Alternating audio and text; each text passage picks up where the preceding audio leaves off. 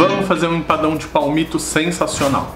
Oi gente, eu sou o Wesley, esse aqui é o Receitas que Amo e hoje eu vou te ensinar a fazer um empadão com um recheio de palmito e outros vegetais, mas eu já quero te dizer que você pode salvar essa receita aqui e usar essa massa com qualquer outro recheio que fica maravilhoso.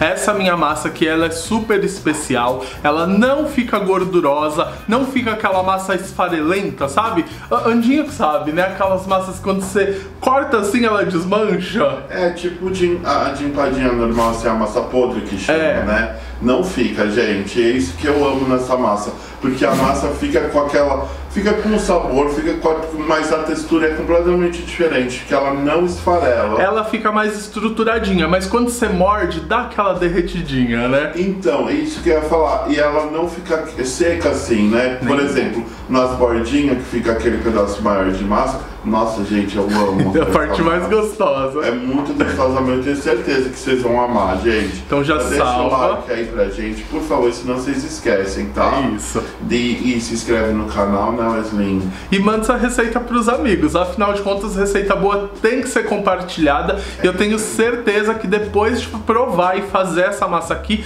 você não vai querer outra, né, Andinho? Com certeza. E fala, você falou, já salva essa receita, desculpa, tipo. Não, era isso. Salva porque essa receita aqui é infalível e ela é muito versátil. Hoje vamos fazer de palmito, né? Isso é uma sugestão de, de, de recheio. recheio. né? Mas você pode fazer de. Nossa, gente, tem tantas possibilidades. E tem Aliás, várias aqui, inclusive. Aqui no canal tem várias. Dá pra fazer de frango, dá pra fazer de espinafre, dá pra fazer de carne. Ó, eu não vou nem falar nada, mas vou deixar a playlist pra vocês aqui. Vai estar tá aqui. Uma vez eu fiz uma de brócolis com bacon, você lembra? Nossa. Sabor diferente, mas que fica maravilhoso. Ó, várias dicas nesse vídeo. Agora bora pra receita, né? Bora.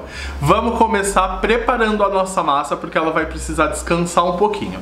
Então aqui no meu recipiente eu já coloquei 3 xícaras de farinha de trigo. Vou colocar aqui uma colher de chá de sal, e 150 gramas de manteiga gelada que eu deixei cortada em cubos para facilitar na hora de misturar. E agora com as mãos mesmo eu vou misturando essa farinha de trigo com a manteiga até desmanchar a maior parte da manteiga e a farinha ficar tipo uma areinha úmida.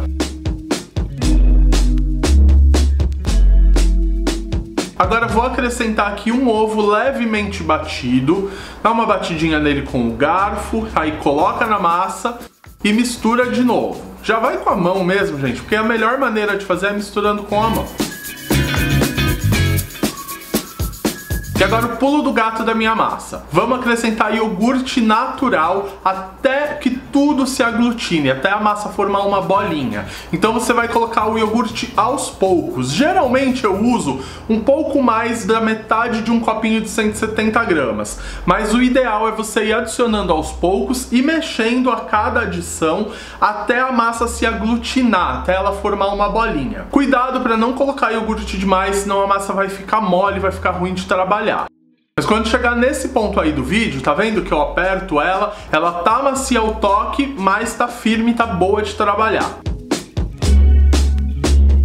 Vou envolver em um saco plástico e vou levar para a geladeira, vou deixar descansando por pelo menos 30 minutos. Esse tempo eu vou aproveitar para fazer o nosso recheio. Então aqui na minha panela eu coloco um fio de azeite para refogar uma cebola picada, uma cenoura pequena, picada também, meio pimentão, quem não gosta de pimentão é só não colocar, quatro dentes de alho e um tomate picado sem semente. Já vou dar uma temperadinha com sal, pimenta, tô usando pimenta calabresa, quem não gostar não põe a pimenta. E uma pitada de páprica que super funciona com legumes. Refoga até que tudo isso fique macio e levemente dourado.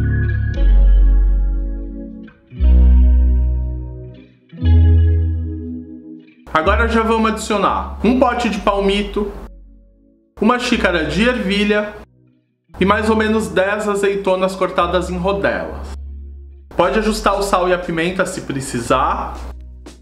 Refoga mais um minutinho.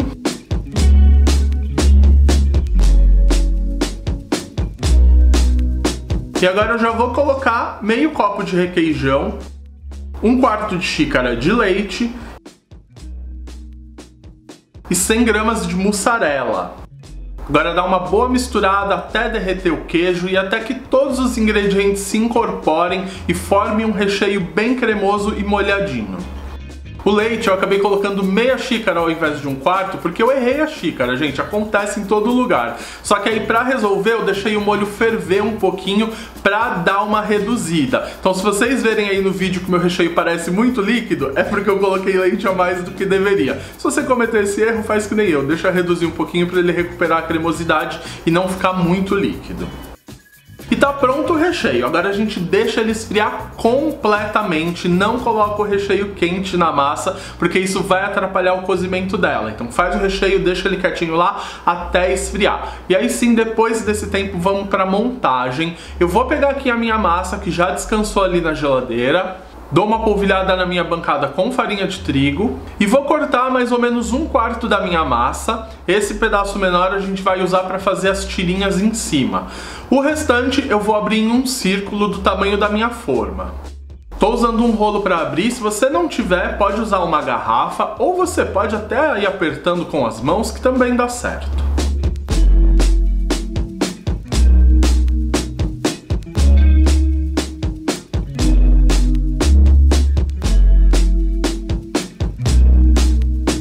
Massa aberta, vou dobrar em quatro e transferir para a forma.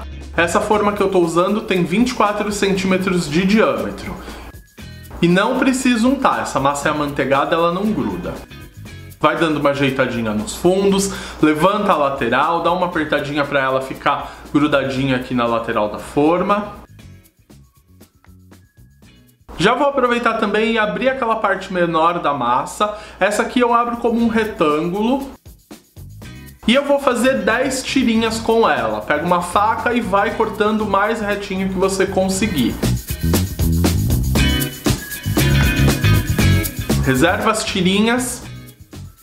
E agora eu vou colocar todo o nosso recheio. Lembrando, o recheio tem que estar tá frio nessa hora. Dá uma espalhadinha. Por cima vou colocar mais um pouquinho de mussarela, afinal de contas queijo nunca é demais. Coloco metade das tirinhas por cima numa direção e agora eu vou alternando para fazer esse xadrez cruzado bem bonito. Aqui não tem melhor maneira de explicar do que mostrar para vocês aí no vídeo. A gente vai alternando cada tirinha que levanta, coloca no outro sentido, dobra e puxa as outras. Que deu para entender vendo aí, né?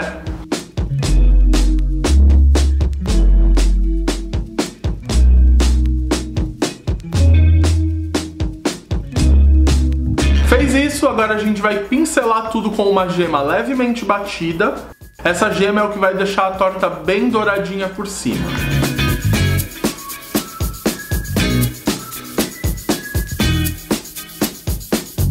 Que agora leva para assar em forno pré-aquecido a 180 graus por mais ou menos 30 minutos ou até que você perceba que a massa deu uma secadinha. Depois desse tempo, se ela ainda não tiver dourada, pode aumentar o fogo para uns 230, 250 graus e aí você vai olhando de 5 em 5 minutos até que ela fique bem douradinha por cima.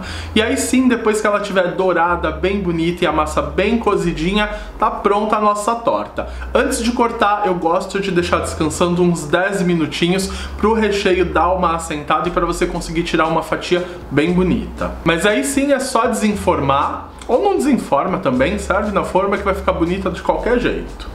E cortar uma fatia para servir.